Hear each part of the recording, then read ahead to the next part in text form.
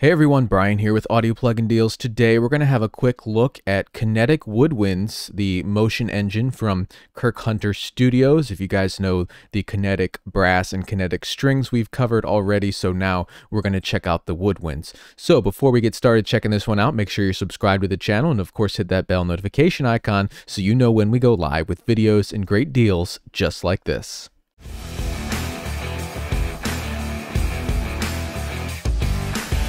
All right, so like I mentioned, we're going to check out Kinetic Woodwinds. If you guys are familiar with the other Kinetic libraries, these are all for Kontakt-Full, and they take samples and you can create motions and rhythms and ostinatos with them. So we have a few different instruments over here. We have the bassoons, clarinets, flutes, and oboes, and then what I'm using is the Kinetic Woodwinds, which is all of these in one. We also have a low RAM option if you are unlimited uh, resources or CPU RAM for your computer.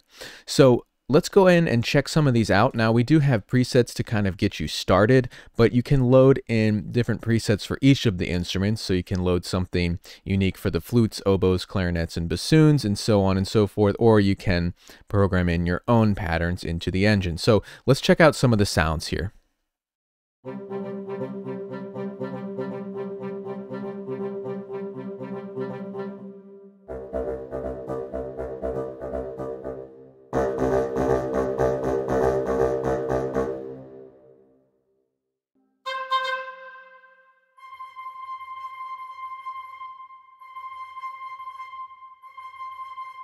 Música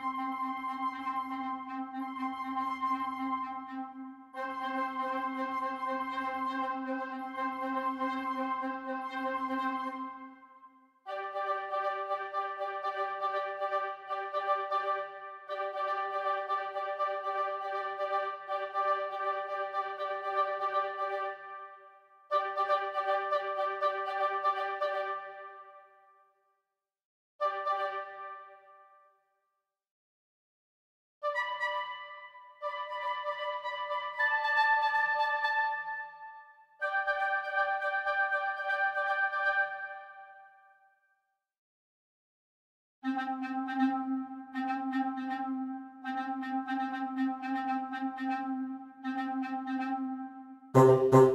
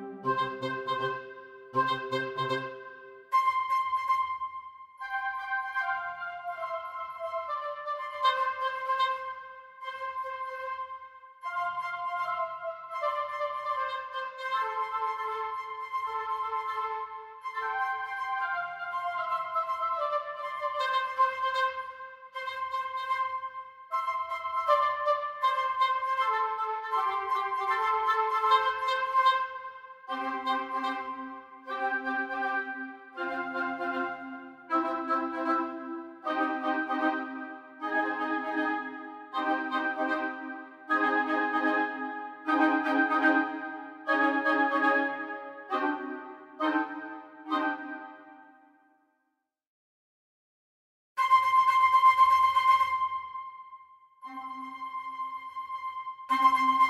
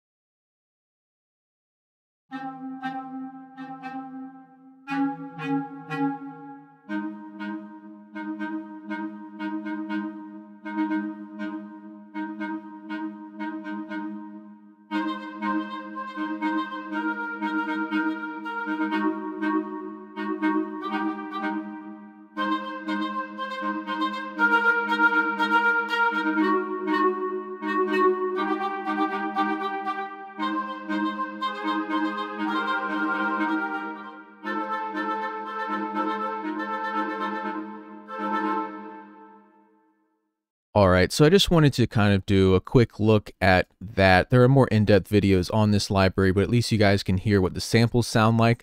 Um, you can turn off the motion engine at any time just by clicking this and then playing just the multi-samples themselves, which sound great.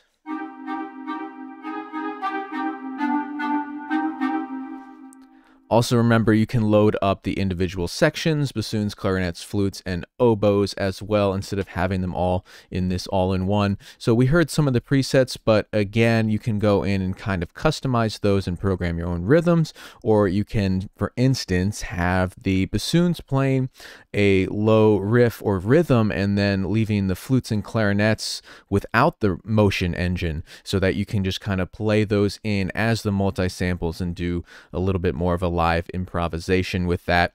Um, as I was playing some of those presets, some of them I didn't quite get perfectly in sync, so that is also something that is user error, not with the library. Um, so thank you guys for checking this one out with me. Just a quick look at Kinetic Woodwinds motion engine from Kirk Hunter Studios. Thanks again, and I will see you next time.